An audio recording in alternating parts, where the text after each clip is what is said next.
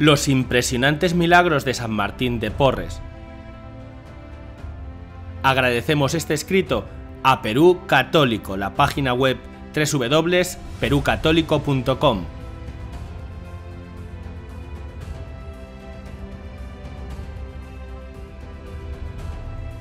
San Martín de Porres llevó una vida de sacrificio inspirado por Jesucristo crucificado.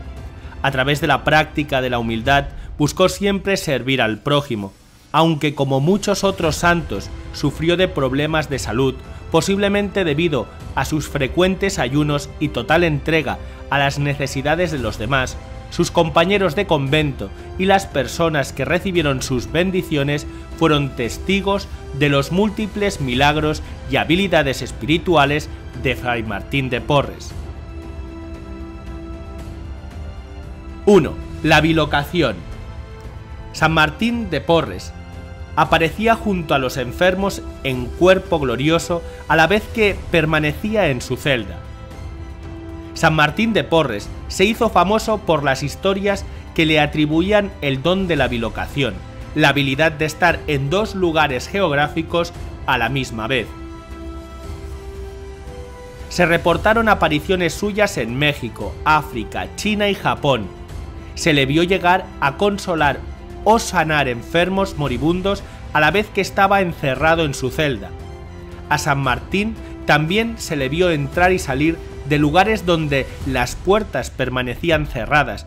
Cuando le preguntaban cómo había entrado y salido sin llave y sin que nadie le abriera, él decía que tenía sus modos de entrar y salir. 2. Control sobre la naturaleza. Algunas historias de los milagros de San Martín le atribuyen hacer que las plantas germinaran antes de tiempo.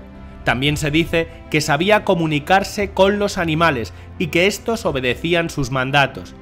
En las estampas religiosas se le muestra con un perro, un gato y un ratón que comen de un mismo plato para representar estabilidad.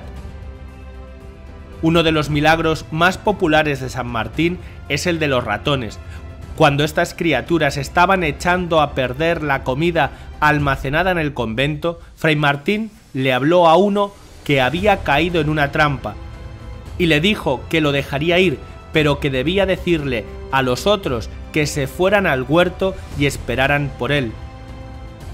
Los ratones le obedecieron y esperaron a que él les llevara comida al huerto.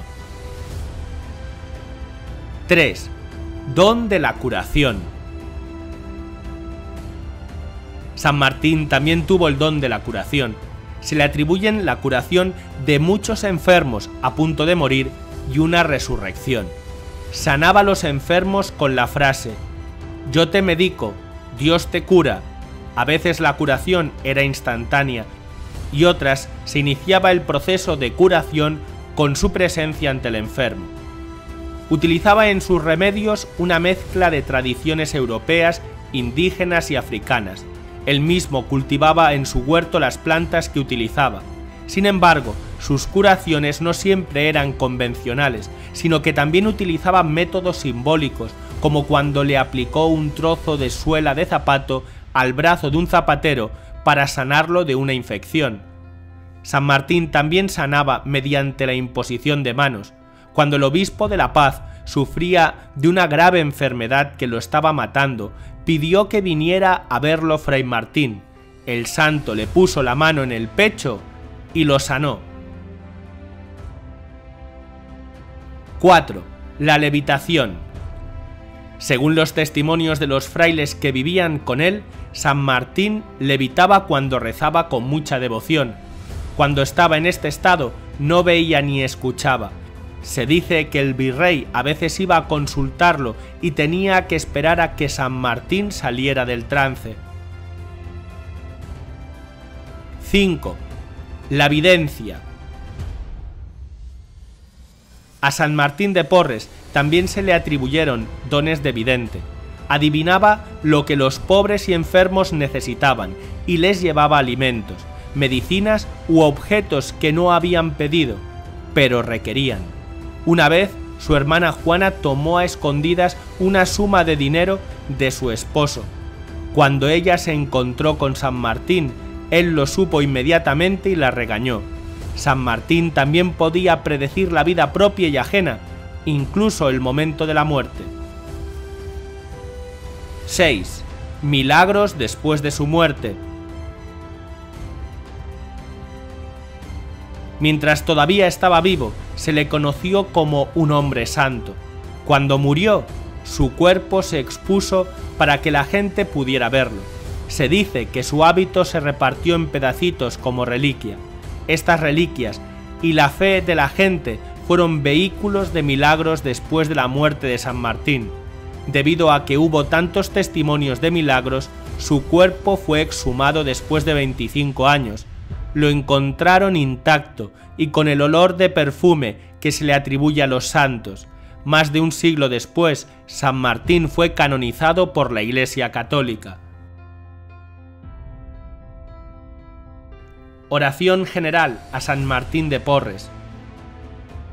Señor nuestro Jesucristo, que dijiste, pedid y recibiréis, humildemente te suplicamos que, por la intercesión de San Martín de Porres, escuches nuestros ruegos.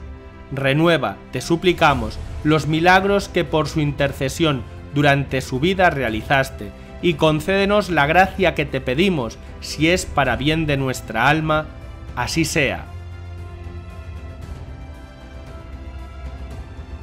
Oración para pedir un favor a San Martín de Porres. En esta necesidad y pena que me agobia, acudo a ti, mi protector San Martín de Porres. Quiero sentir tu poderosa intercesión, tú, que viviste solo para Dios y para tus hermanos, que tan solícito fuiste en socorrer a los necesitados. Escucha a quienes admiramos tus virtudes. Confío en tu poderoso valimiento para que, intercediendo ante el Dios de bondad, me sean perdonados mis pecados y me vea libre de males y desgracias.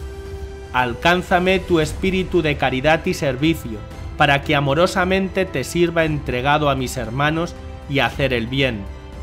Padre Celestial, por los méritos de tu fiel siervo San Martín, ayúdame en mis problemas y no permitas que quede confundida mi esperanza.